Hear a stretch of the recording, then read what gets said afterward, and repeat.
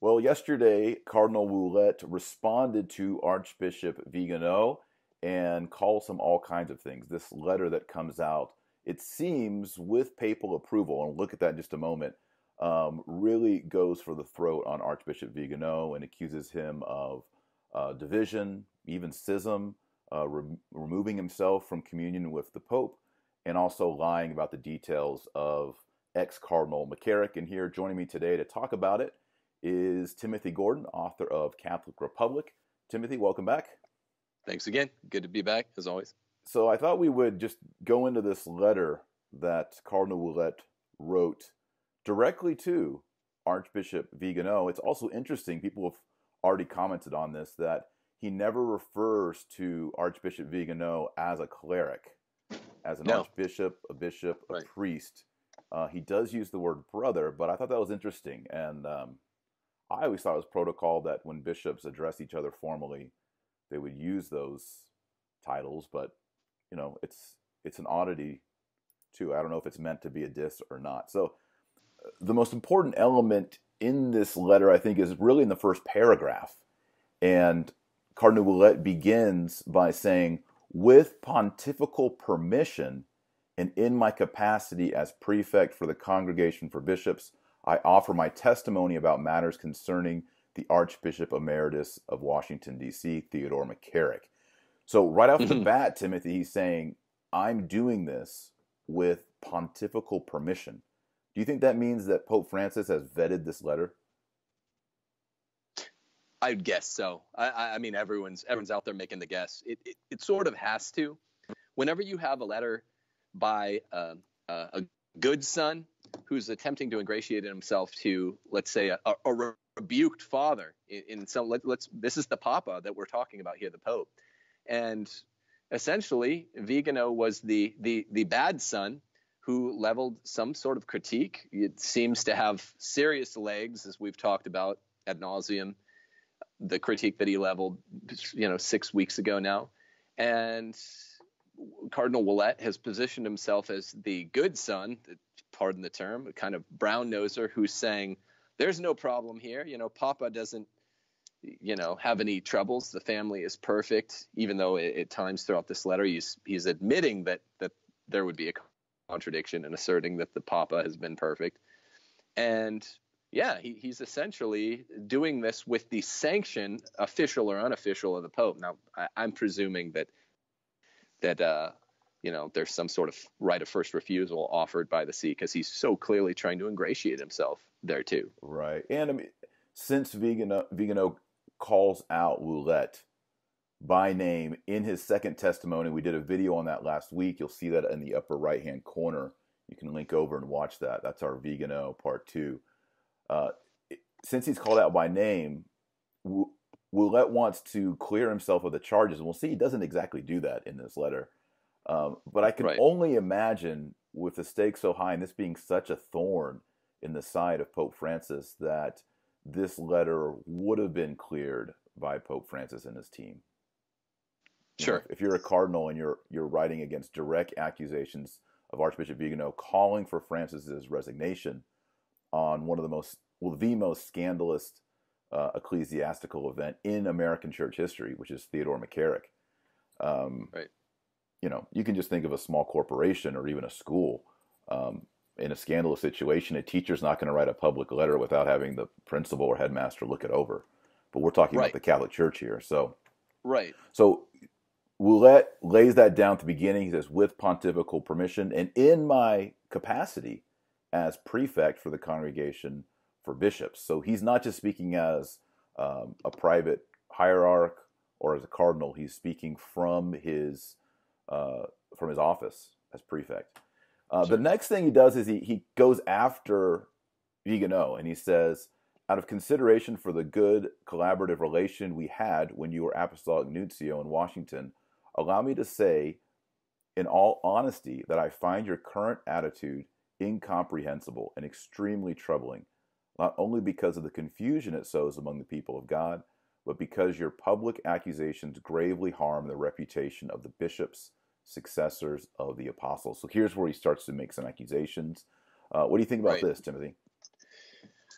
I think this is this is a serious counter accusation, and it, it, it beggars the question: when, let's say, Saint Paul rebukes, you know, the first pope Peter in Galatians chapter two, verse eleven, as Peter arrives in Antioch, is uh, is Paul's opposition to Peter's theological error uh, a political plot, a, a, a tawdry, pathetic, cheap political positioning? Of course not, right? So I, I really this has become known as the Cardinal Ouellet letter to Archbishop Vigano. I, I would I would wonder if Cardinal Ouellet would have been as comfortable writing a, a letter counter condemning uh, St. Paul for his his accusations against his public public accusations against the first pope Peter. I, I, I mean, yeah. Why, he's, he's... why, don't I read that? I just pulled it up while you're talking. This is Galatians two. You referenced it in the the last interview we did on uh, Vigano, Cardinal Ouellet, Pope Francis. Uh, this is from St. Paul's epistle to the Galatians, and it's in chapter 2, verse 11. And Paul writes, and when Paul says Cephas or Kepha, that's the Aramaic name for Peter. Um, so originally Jesus and the apostles spoke Aramaic, and so Peter's name was Cephas, which means rock. Later, as the church becomes more Greek, his name is Petros, which means rock, Peter. But here, Galatians, which is one of the first Pauline epistles, he uses Cephas. So Paul writes this in verse 11, quote, But when Cephas came to Antioch, I opposed him to his face, because he stood condemned. For before certain men came from James, he ate with the Gentiles. But when they came, he drew back and separated himself, fearing the circumcision party. And with him the rest of the Jews acted insincerely, so that even Barnabas was carried away by their insincerity. When I saw that they were not straightforward about the truth of the gospel, I came to Cephas before them all and said, If you, though a Jew, live like a Gentile and not like a Jew, how can you compel the Gentiles to live like the Jews? Etc. So this is uh, Paul, and he says that he does it to Peter's face and in the company of other people. So it's a it's a public rebuke. Um, and in honesty, St. Paul is following the teaching of Jesus Christ that you go to the person, right?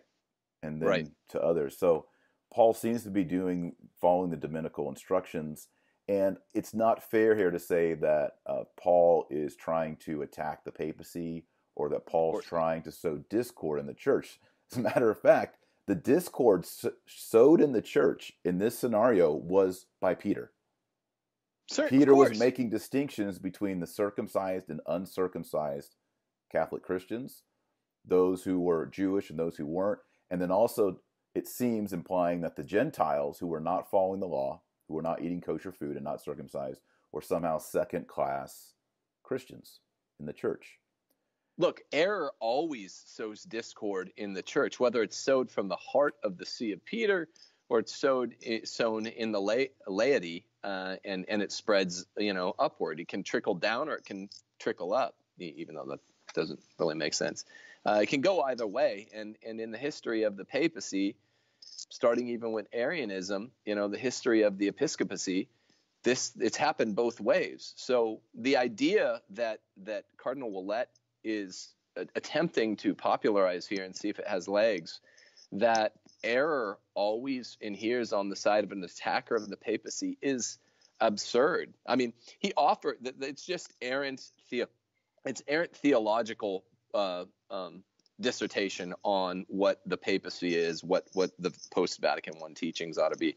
Aside from the errant theological teachings, all he offers is personal uh, uh, opining where he says, I, I, very much doubt that McCarrick interested Pope Francis to the point that you would have us believe. Things like that. There's there's assertion one after another like that, where he, yeah, that's fine. You can report to us, Cardinal Ouellet, what you very much personally doubt. None of it's really worth anything aside from the the um, the official position he strikes, which is theologically wrong. Again, this is just it's wrong when you consider what he would, by dint of implication, be having to say to St. Paul himself. Take it a step further. You mentioned um, Jesus's admonition in Matthew chapter 18 about first, you know, if your brother offends you, first go to him, then take a few others along, then go to the whole church. um, it's no different when rebuking um, a pope. And consider this: uh, two chapters before that, in Matthew chapter 16, it's a line after, it's two verses after Jesus makes Peter the first pope. He calls him Satan, right? Yeah, get behind so, me, Satan. Get behind me, Satan is in Matthew uh, 16, uh, verse 21 or 22 or something.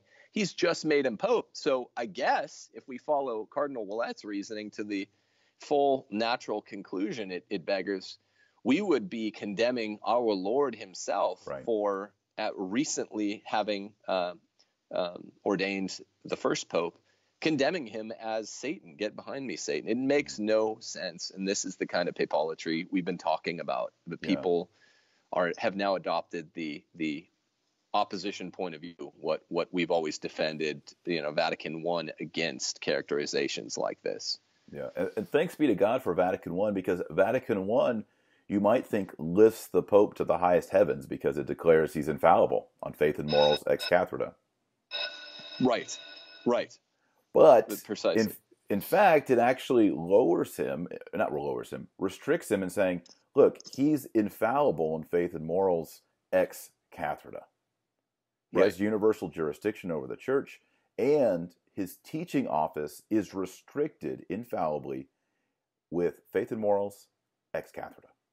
So that's very right. important. And I think it's interesting in this letter. It's it's primarily he in the intro says it's about McCarrick, ex Cardinal McCarrick, but as we'll get into this into the text here, Ouellet brings up Amoris Laetitia.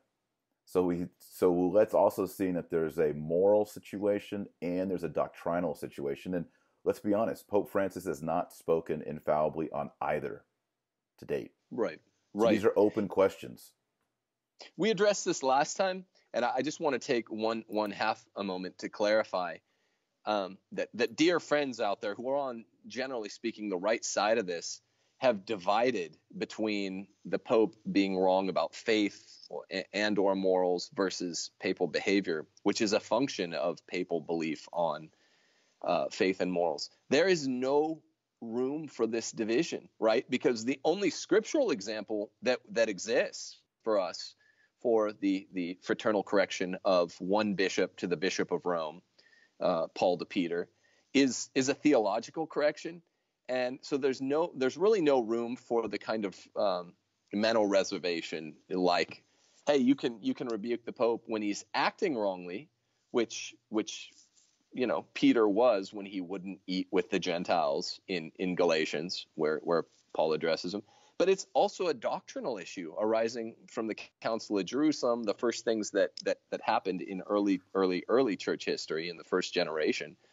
And and because behavior is always a function of what we believe, right? Remember yeah. Archbishop Sheen, if you don't act how you believe, then you'll believe how you act. There's this fundamental connection between behavior and belief.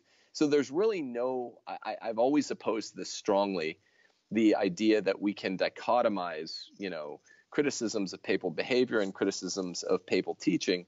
And and I'm I'm just bringing this up because now you're pointing out that that um, Cardinal Ouellet is implicitly, tacitly endorsing the same thing from the opposite point of view because he brings up Amoris Laetitia, right? I mean, it's if you believe that the Pope is beyond repro- reproach, in in behavior, then you're going to believe that the Pope is beyond reproach in in matters of of doctrine. Which he is when he speaks on faith and morals ex cathedra. Cathedra, sure. Pope Francis sure. has not once ever done that. Sure. So now, along this line, I, I want to read this what Cardinal Ouellet writes, and it echoes what you just stated. Uh, he says, "quote is not communion with the successor of Peter an expression of our obedience to Christ, who chose him and sustains him with his grace? End quote. Now, the first part is absolutely correct. Is not our communion with the successor of Peter an expression of our obedience to Christ? Absolutely. I'm not running away from the from the papacy or from the Bishop of Rome. I want to be in communion with Pope Francis, or whoever is the, the one who holds the chair of St. Peter. I believe that my salvation hangs upon that. That's why I became a Catholic. You know, I was an Episcopalian priest, and I went to mass once with Pope Benedict in Rome, and I knew I couldn't receive communion. I was like, I am not in communion with the successor of Peter. And I had this sense that if I don't enter into communion with him, I will be damned. This is a necessary gift that Jesus has given the church, and I need to accept that gift if I'm going to accept salvation. So, Cardinal Ouellet, we are all thumbs up on this. We all agree. It's really the second part of the sentence that kind of makes me scratch my head. I'm like, I'm not so sure about that, where he says, um, Christ, who chose him and sustains him with his grace. In God's providence, everything happens according to his will, but that doesn't mean with his specific active will that he chooses every single pope. Would you agree with that? Right. Like there might have been a really there might have been a really holy great man that, you know, would have been a better pope in, you know, 1512 or 1348 who would have been a better pope. Right. But because of the time, sometimes our Lord hands us over to false shepherds. You know, so it doesn't necessarily mean that every and, pope is infallibly chosen. Yeah, providence works as far as I can tell. Thus, it works thus. You connect the dots afterwards, and to these folks that, in a way, it's kind of like Puritanism, insofar as some of these these Catholics who want to see the guidance of the Holy Spirit in conclaves and in, I guess now even synods, as determinative of right automatic righteousness. Mm-hmm. They're they're being Puritan insofar as they're not wanting to live with their own the contingency of existence. Like yes, being a Christian is not, as the atheists say, reductive in the simplistic way where once you become a Christian, you have all the answers and you're no longer historically contingent. After where you that you cannot escape that. Becoming a Christian does not mean that um, that you have all the answers, right? It, it does not mean that all the popes are immaculate. It, no, none of the popes have been immaculate.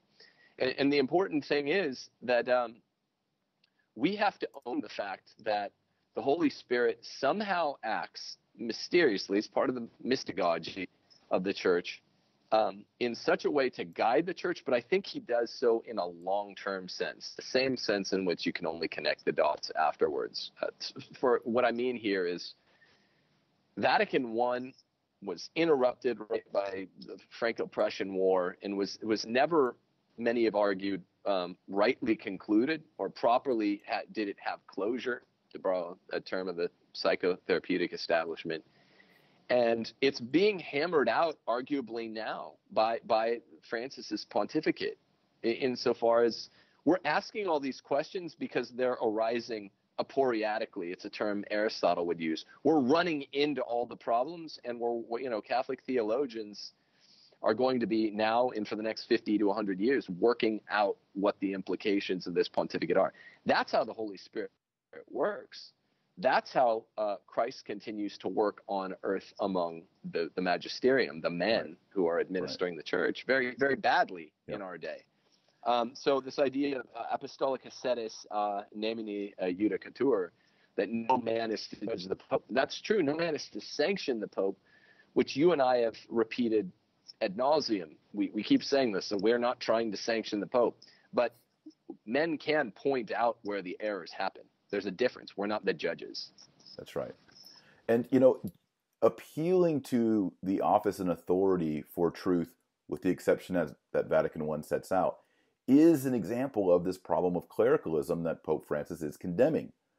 So he's like, hey, he's right. the Pope. How dare you do this? But what if we turn back the clock 40 years and say, hey, he's the Archbishop of Newark. How dare you make an accusation that he acted immorally towards a young man?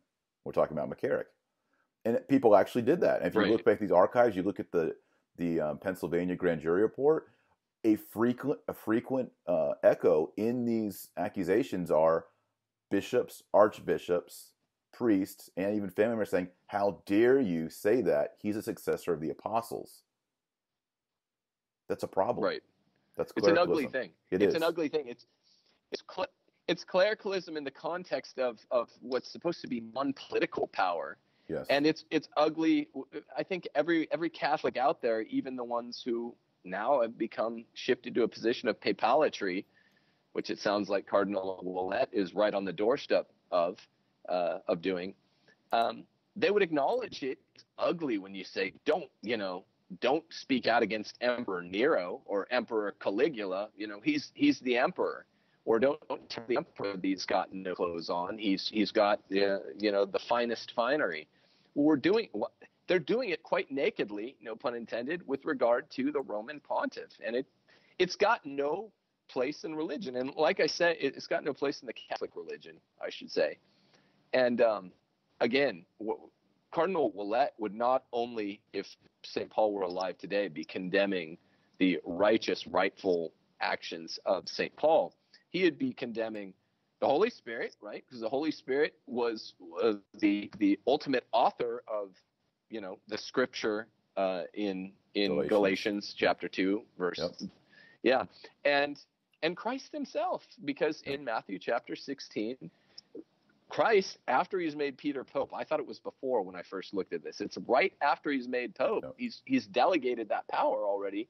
He still condemns him. So we don't want to be uh, smokescreen patriots when it comes to the Pope, and and it seems too late at this point. Some people seem lost in papalatry. Yep. Yep. Well, it's it, the very next line from the one I just read is where Cardinal Ouellet goes into Amoris Laetitia. So why don't I read that one?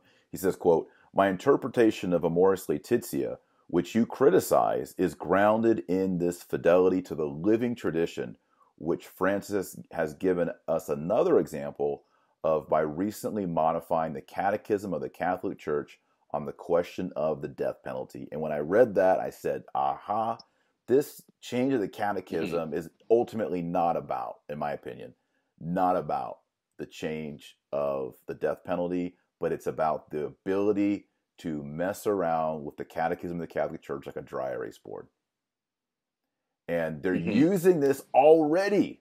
This is the first time I've seen, you know, a cardinal do it. They're using it already as a precedent to change. What do you think about this?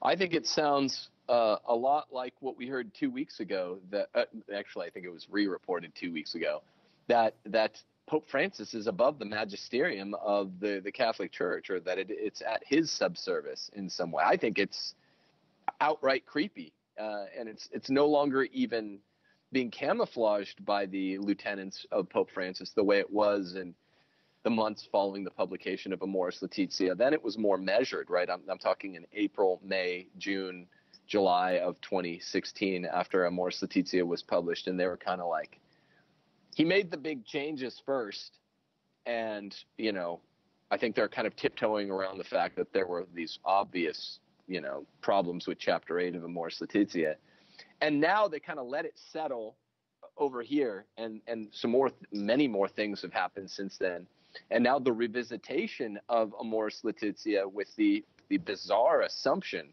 that opposition to the sitting pope is blasphemous is precisely what it seems to be that you're squinting toward, uh, Dr. Marshall. It seems to be a kind of um, um, a slow congealing of this new papal infallibility that they're the, the, a wrong-headed papal infallibility that they seem to be uh, insinuating. It's it's cre- I, I, don't know what else to say. It's creepy. Yeah, I mean, it, it bothers me. It's deeply when, bothersome. When Amoris Laetitia came out, people were reading it. Everybody started calling each other. Theologians, we started talking to each other. Like, did you see that? What does that mean? Where is this going? What about the footnote? And then we had the Dubia by the four Dubia brothers. We keep bringing up the Dubia brothers. And that again was following Dominical protocol, right? Hey, Holy Father, this could be taken as heretical. This could undermine the Holy Sacrament right. of matrimony as indissoluble um, this could be used to then validate homosexual unions or divorce and remarriage, etc. Could you please clarify this for us? And here we are in years later, and there is no answer. And so the response is just like our Lord said: you go to the go to the brother. In this case, it's the Father, the Holy Father, and you ask for clarification. Here we are years later, and he won't answer the Dubia brothers, and then he answers that he's not going to answer Vigano, not one word. So, you know, what's a Catholic to do? Well, we have just on Saturday, uh, two days ago, the I guess sixth of October, the Holy See issued a statement promising a quote thorough study of its own McCarrick files. Don't hold your breath for the kind of investigation that that um, bills itself as in any way involved, right? So this, I'm not holding mine. This this right. will not be an honest answering of the question put to Pope Francis by Archbishop Vigano. It's going to be McCarrick in the third party, in the third person sense. It'll be very clinical and it'll be sure-footed not to uh, co-involve itself in any of the the goings on. At least in the language, of course. It, it I mean, as you pointed out earlier, Dr. Marshall. I mean, it. There are several tacit admissions in this response by Cardinal Ouellet that that automatically co-involve. It's beyond yes. doubt at this point. Here, let me read them. But, Since but Francis will not answer to that. Let me yeah. read them. So yeah, the most the, the the grenade in this letter, this testimony by Cardinal Ouellet in response to Vigano, confirms Vigano's accusation. And you know, maybe if we you know just sideswipe everything that's in this that's in this letter by Ouellet what I'm about to read right now is explosive. Cardinal Ouellet writes this quote, Moreover, the written instructions given to you by the Congregation for Bishops at the beginning of your mission in 2001 did not say anything about McCarrick, except for what I mentioned to you verbally about his situation as Bishop Emeritus and certain conditions and restrictions that he had to follow on account of some rumors about his past conduct. Then he goes on and just two more lines. The former cardinal retired in May of 2006 had been requested not to travel or to make public appearances in order to avoid new rumors about him. That was in 2006. That's Pope Benedict XVI, right? This is it. This is it. V- Vigano, yeah. his testimony was just validate. Let's trying to undermine Vigano here, but he just built up Vigano's testimony. He states could, certain conditions possible? and restrictions. It... He doesn't use the word sanctions, which is Vigano's word, but he says right. conditions and restrictions, right. and he even names what they're not to travel, not to make public appearances. Right? Is it possible? I, I just had this notion just now that that Cardinal Ouellet is under the guise of uh, a defense in an apologia of Francis, attempting to bulwark what what Vigano said, and, and doing it, you know, using Romita as you know. Wait, you're the, saying the that Ouellet's actually trying to help Vigano? Right, perhaps I don't know. Yeah, think about it, because that I, I don't know, but except that is the bombshell. What you just read is the uh, is the KT boundary between being wrong and being right, as it were. I mean, he, what else does Vigano need? And Ouellet didn't have to write this. These two paragraphs, no, they're not no. necessary to the debate, unless Ouellet's no. just trying to clear his name because he thinks, okay, Vigano's going to come out with part three, which we know Vigano, Vigano's probably going to come out with part three. And I guarantee you he's going to yeah. bite onto this section yeah. because the language used is conditions and restrictions, and then he names requested not to travel or make public appearances. And then he goes on to say, and there are no, oh, here's where that kind of covers us. It says, there are no audience notes from my predecessor, Cardinal Giovanni Battista Re, imposing on the retired archbishop the obligation to lead a quiet and private life with the weight normally reserved to canonical penalties. So what that's saying here is there was nothing signed on paper giving the canonical penalty of a private life of prayer and penance. But there were commands right. from Pope Benedict. They were known to Cardinal Ouellet, and Cardinal Ouellet orally gave these commands to Archbishop Vigano to be applied to McCarrick. Yeah.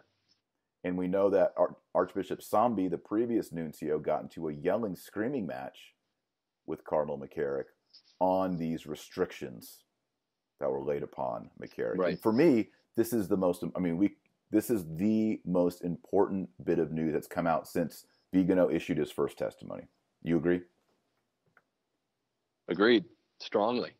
So such that Cardinal Ouellet, all I'm saying, uh, just to, to, to back up for a half a moment, all I'm saying is, yeah, I, I don't know what Ouellet's doing here, but he's a smart guy. He knows that this, that these, this paragraph and a half vindicates, at least, you know, corroborates at least the bulk of Vigano's testimony or, or whatever, his his 11 page letter. So why why do it if you're attempting to rebuke Vigano? I, I don't understand the inclusion of that that portion. The only thing I can think of is that Ouellet is trying to say, hey, there was nothing written down canonical. So, you know, it's kind of gentlemen's agreements. Uh, maybe he's trying to state Francis didn't overturn anything because there was nothing canonically issued. It was all sort of done on a handshake. And so, therefore, when Francis reversed it, Francis isn't breaking, he's not reversing a canonical uh, act of Pope Benedict. He's just sort of unaware of the handshakes and, and the gentleman contract. And so Francis is innocent. Maybe that's what he's trying to insinuate. What do you think?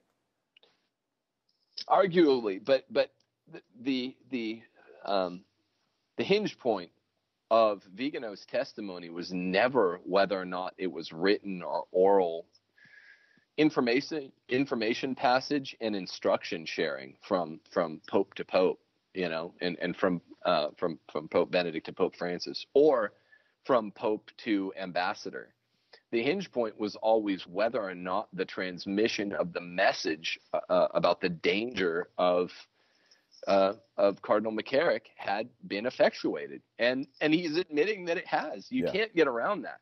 Yeah, he's saying it. Well, not, that's not stupid. So yeah, he's saying it's not only Pope Benedict and Pope Francis, it's also Archbishop Peter Pietro Sambi. It's also me, Vigano, right. and as I put right. pointed out in my second testimony, it was you too, Ouellet, and now Ouellet says, yeah, it was me too. Right.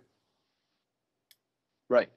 Right that's that like you i mean you you did all the work that you cut the meat from the bone that's yeah. that's the most important aspect of this I, I don't know how to get around it i don't know how to explain it rather yeah and then and then um Ouellet says this this is kind of Ouellet trying to get pope francis off the hook here he says by the supreme pontiff are based on the information available to him at the time and they are the object of prudential judgment which is not infallible so here we actually have Ouellet backing off of papolatry and saying, look, he's basically right. saying Francis made a mistake. He's saying Francis made this decision based on facts available at the moment. He used a prudential judgment. It wasn't infallible. Right. So he's giving right. some padding to Pope right. Francis in this section. Right. The kind of padding that, that you and I have been that people, ironically, the, the defenders of the Pope want to uh, strip him of it, it's it's quite a quite right. a strange strange days are ours. Right. You know what?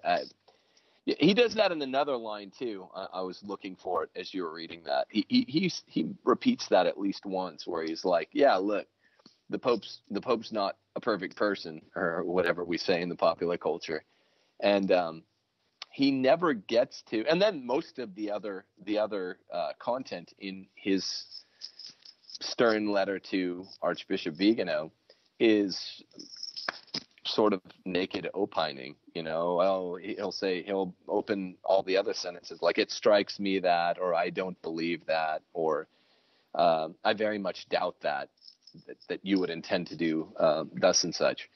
So there aren't there aren't that many. Um, I think Christopher Altieri at uh, Catholic World Report was the one to say it's it's basically a, a very underwhelming letter. There's not a lot of of uh, pith here. I, right. want to, I want to read another line here. Yeah. This is where Vigano actually does get a little bit aggressive. The most he, the most aggressive he gets, and uh, he says, "I think it's abhorrent." Ouellet. Sorry, did I say Vigano? Yeah. Yeah. Sorry. Ouellet. Yeah. Ouellet to Vigano says, "I think it is abhorrent, however, to you to use the clamorous sexual abuse scandal in the United States to an to inflict an unmerited and unheard of blow to the moral authority of your superior, the Supreme Pontiff." This is out of line. I think he's he's not doing something yeah. abhorrent, and he's not using a sex abuse scandal to inflict an unmerited and unheard of blow. And this is their this is the narrative coming out of Rome. Vigano is a disgruntled man. He never got the red hat. You know, he was demoted, Right. and so he's just this angry, bitter old priest.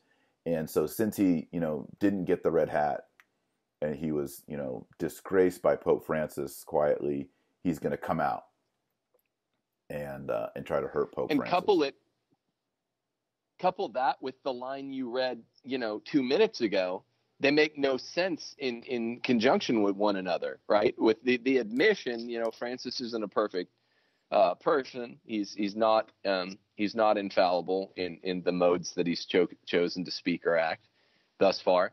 And uh, and the admission that the transmission of the message had been effectuated that doesn't jive with what he's with the accusation you just read, right? I mean, Yeah, because Ouellet never this kind of says goes back to the, the the part that's not said here that Vigano says is he never says, and yeah, Francis rolled back what I told you, Vigano. He no, doesn't he doesn't say that, but No. that's that's Yeah. everywhere behind this letter, and and that's the missing part that just screams out to us is, yeah, Pope Francis rolled back those restrictions. Maybe he won't call them sanctions, but he rolled back the restrictions, and the entire Catholic Church globally is a little concerned about this. Pope Francis, will you speak to that? No. right, So we have established Yeah, through Vigano and through through Ouellet now, restrictions were placed on McCarrick. Francis sent him to China. Francis allowed him to have public appearances. Francis had him in Rome, staying at a seminary. Francis had him doing all kinds of stuff that were contrary to the restrictions. And we know Vigano Right. and now Ouellet knew there were restrictions. So Francis lifted the restrictions. right, Case closed. right. Yeah, uh, you know, in the courtroom, one would look at this and, and uh, say corroboration. You have th- this is all I was saying ten minutes back when I was like, is he is he attempting to help him? This is a, a Lionel Hutz job for Simpsons fans, you know, where he's he he might not be trying to help uh, Archbishop Vigano, but but he is insofar as he just corroborated the the linchpin of the argument. Yep, yep. It, it closes with a, Sassily. It Yeah. closes with, I think, the most offensive thing that Ouellet's written in this letter. He says, Dear brother, so here we have some affectionate signs. Dear brother, how much I wish that I could help you return to communion with him who is the visible guarantor of communion in the Catholic Church. This is, from a theological point of view, the most offensive because Cardinal Ouellet, as a cardinal, is Right. saying, I wish I could help you return to communion with the Pope. He's saying you are not in communion with the Pope. You're in schism. How crazy is that? Right. Right. To to be you're not a schismatic for so I guess you know to take it back to to Paul and Peter. Paul was a schismatic for for for rebuking Peter correctly. Uh, This this removes and, and ultimately this is the culmination of what we've seen with the spirit of Vatican II. This removes the consider- consideration of correct doctrine versus heresy, you know, orthodoxy versus heterodoxy, with a kind of uh, final authority from consideration altogether, right? It, it's just all that matters. You're Catholic or not Catholic based on how you countenance the Pope. Uh, Yeah. it has nothing to do with truth or untruth, orthodoxy or heresy. This is what they've been playing at for 50 years. Right. And At and least. now what's the highest is not faith and morals. The highest is preserving a perceived unity, Unity. Yeah. which I've done a lot of reading in the in the semi-Arian debate and in the semi-Arian debate in the 4th century there was a lot of appeals to unity. Hey, why do you insist on using consubstantial homoousios? Why why do you insist Right. on that word? It's dividing the church. Athanasius, we we need to back away from that for the sake of the unity of the church. Well, Right. Guess what? four That's out of five bishops four out of five bishops uh, uh, um, eh, you know athanasius and, and saint nicholas and and you guys who are who are hanging on to the the original trinity teaching of the trinity. Four out of five bishops or so have have gone with the arians. Can't you guys just Yeah. join in this appeal for unity? Why are you dividers? Why are you dividing the church Right. you schismatics? And it, because truth matters. That's why. Yes, and it's not even that they were saying to them homoousios is wrong. That the Son is consubstantial with the Father is incorrect. They were saying, hey, we're not even Right. saying that. Let's just back off the Nicene Right. Creed because that's dividing the church. And they said, no, I'm going into exile. You know, that's Right. that's nice guy Catholicism versus Nicene Catholicism, and I want more Nicene Catholicism where we have truth. Because last time I checked, uh, the numbers and the stats in the Catholic Church are on the downhill. People aren't Right. catechized. People are are falling away. So, um, Cardinal lays it in again. He says, "How can I answer your call except by saying, stop living clandestinely, repent of your rebelliousness, and come back to better feelings towards the Holy Father instead of fostering hostility against him." So he's making, he's saying, Can "Hey, I address that? yeah, especially the clandestinely. I, I'd love to hear your thoughts on that." Well, what what a, a Franciscan priest that I'm friends with uh, told me late last week is uh, it adds a, a great deal more contour to Vigano living in in the shadows, um, as it were, at this point. Canonically, uh, I was told, forgot to verify it, but canonically, um, if he is not served with process or a summons to return to the Pope, he cannot be. Uh, there can be no interdict he can't be excommunicated. Not not that he necessarily would, and he can't be taken out of the priestly uh, uh, capacity.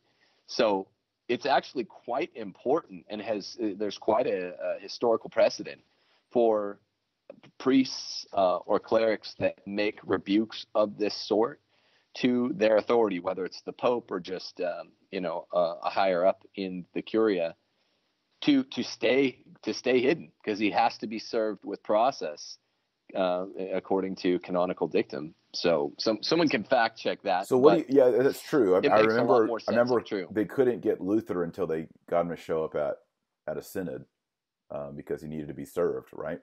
Um, and so Luther. that's right. I'm not using Luther as at good Wartburg, good yeah. example, but I'm just giving it. He went into Yeah. hiding and Yeah. he he grew out a beard and he disguised himself. He had a, a different name. I can't remember the name exactly. I'll put a picture of Luther before and after on the screen so you can see it. It was it was Carlos. I think he called himself Carlos Danger, right? That's wrong. so. That- yeah, yeah, that's, yeah. Not, that's not right. It's getting deep. Um, That's it. But I, what do you think about that, yeah. Timothy? I mean, I kind of should Vigano hand himself over and be tried? Should he be in hiding? Absolutely not. You don't think he should hand himself over? He should. No, uh, yeah. This this article I read to you uh, by by Christopher Altieri on Catholic World Report, uh, a fellow writer there, uh, you know, seemed seemed to be insinuating strongly that that he should. I I couldn't disagree more more Okay. strongly because But he's sidestepping canon law. Is that you know as a cleric should he be doing that? Look, desperate times call for desperate measures, and he, he's not disobeying canon law. No, I mean uh, this isn't this isn't cheap, a cheap kind of John Stuart Mill utilitarianism. He's sidestepping it. He's not disobeying it. Okay. Um, So what gotta- what would you say if Pope Francis stay- said, uh, "I'm issuing a public summons to Carlo Maria Vigano to appear within 90 days at the uh, Apostolic Palace"? Do you think he would he should obey it So- and come in? It's a tough question. yeah, hey, he's a cleric. It is a tough question, but but it's interesting that Pope Francis hadn't said this. Yeah, he he takes a vow of of obedience, obviously, like all clerics do, and Catholic clerics do, and so that that would be a different matter. I'd have to uh, I'd have to noodle that one around. But this is important. I mean, what what this all begs is the proposition that this is important. What what Vigano did matters, and it it's of historical prominence, and, and it, so yeah, sometimes you have to thumb your nose at at uh, at, at tradition. I think it's interesting that Francis has not. Well, do you really want to say that, Timothy? Do you want to thumb your nose at tradition? Like, I'm having a hard time on this element, right? It's kind of like, did Paul Well, like, did Paul rebuke Peter and then like run away and wait, or would Paul just keep going? I don't know. Like, it seems to me that Vigano should maybe show up in Rome and say, "Here I am. Try me. What have I done wrong?" it's it seems to me to be an in, issue of prudence. Uh, if if the pope you're answering to is Peter, who had already shown in good faith, you know, what, whatever it was, Right. Tradition 10 over a decade before, Right. What we get from Galatians is Peter back down and says, "Hey, Paul, you're right." Yeah, just as yeah. he did at the Council of Jerusalem, right? Yeah. At the Council of Jerusalem, to which Paul was was pointing backwards and saying, "We have to follow this. We agree right. this." Right. Peter had already shown good faith that he's willing to, even though Paul wasn't called a cardinal. We we hadn't developed the right. cardinalate for another 900 yeah. years at least. Um, he was willing to consult his his brother bishops and to seek good counsel from them. And yeah. Paul was the smarty pants there. He's willing to delegate and to listen. And Pope Francis has shown plainly that not only is he not willing to, but he will flat out not even answer the yes. tradition of the dubia. Right. So it's an issue of prudence. It's not a right. simple reductive matter like, oh, come on, he's he hasn't been ordered out yet. But um, even if he were, I, I think it's an issue of prudence. How could you answer otherwise if you think that what Archbishop Vigano has done is of historical importance? Right. I, I don't. I don't know how to just say. My take on it is, if know. it's just canon, if he's only worried about canonical penalties, he should show up in Rome and mm-hmm. take it like a man. But if he's if he's worried about his life that there's mafiosa types who would kill him and take him out or hurt him. If that's the case, then I think he has a right to protect his life and stay, like you said, in the shadows. But I don't know. I need to think about this more. It, it seems to me that in the church, even though if there's grave disagreement and there is the risk of canonical penalties, I think you have to face the music. I don't know. I need to think more about it. I agree.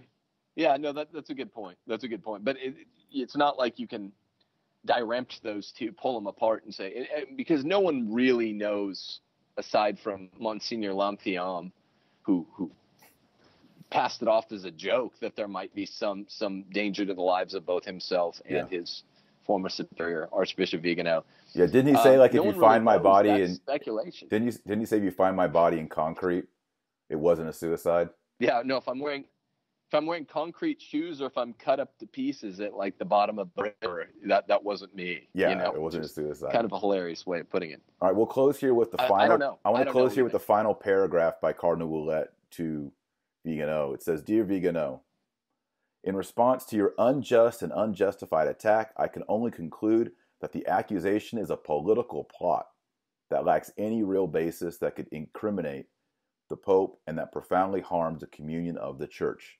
May God allow a prompt reparation of this flagrant injustice so that Pope Francis can continue to be recognized for who he is a true shepherd, a resolute, a, sorry, a resolute and compassionate father, a prophetic grace for the church and for the world. May the Holy Father carry on, full of confidence and joy, the missionary reform he has begun, comforted by the prayers of the people of God and renewed solidarity of the whole church together with Mary, Queen of the Rosary, Mark Cardinal Ouellet, Prefect of the Congregation for Bishops on the Feast of the Holy Rosary, October 7th, 2018. That's yesterday. So there it is. Any closing words on that, Timothy? Well, remember, the Feast of the Holy Rosary is the commemoration of the Battle Lepanto. of Lepanto. Um, and remember, so I, I, think this is funny because this letter was released. Was it actually released yesterday in in Rome? In uh, Rome, well, remember they're ahead the of day us. before. Yeah, they're ahead of us. Yeah, they're ahead of us. So it was it was postdated to this important feast day, the Battle of Lepanto. I'm not sure if there's significance there. Everyone, you know, all of uh, Dr. Marshall's viewers, go Google the Battle of Lepanto. It's tremendously important yeah. in the history of the church and the history of the faith and the history of the pontificate just as Archbishop Vigano had had uh, post dated his letter uh, to the feast of Saint Michael, even though he, he published it like two days, he leaked it two days earlier, but he wanted it dated with the epistolary date of um, the, the, feast of Saint Michael. So Ouellet's doing something similar, releasing well, the letter, Ouellet's aware writing and releasing it days before. Earlier in the earlier in the letter, I skipped this part, but Ouellet says to Vigano, "How can you pray the Holy Rosary or pray to Saint Michael the Archangel. So, ooh, so oh, I, I, yeah, I forgot so about that. This is smart writing. So either it's just random, yeah. or he's associating Vigano's testimony coming out on St. Michael, the Archangel's feast day, and then his coming out on the Rosary. So right, it's kind of interesting I, that that I mean, this is a well planned letter. This was not just Cardinal Ouellet at his desk late one night. This was a team effort. Many people right. vetted this, looked at it, and I'm pretty convinced that Pope Francis also got to read it before it goes out.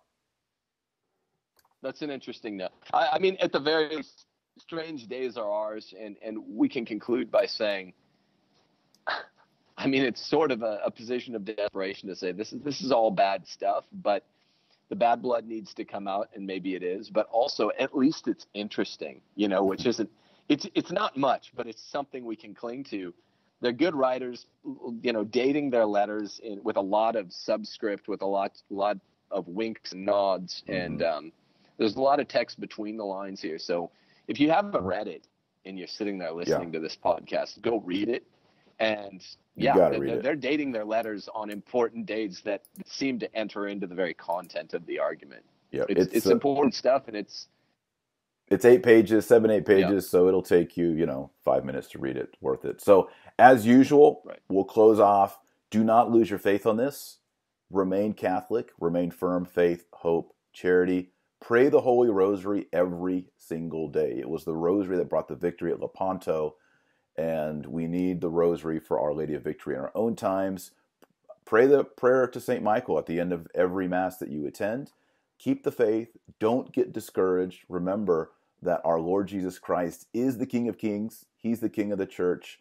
Uh, ultimately, we are called to be faithful and to remain in a state of grace. That's the name of the game. So, keep watching these videos. Thanks for watching. Please, please like and subscribe to this channel to get more videos as more news comes out on Pope Francis, Vigano, Ouellet, everybody. So, Timothy, thanks so much for being with us today. Thanks again. I appreciate it.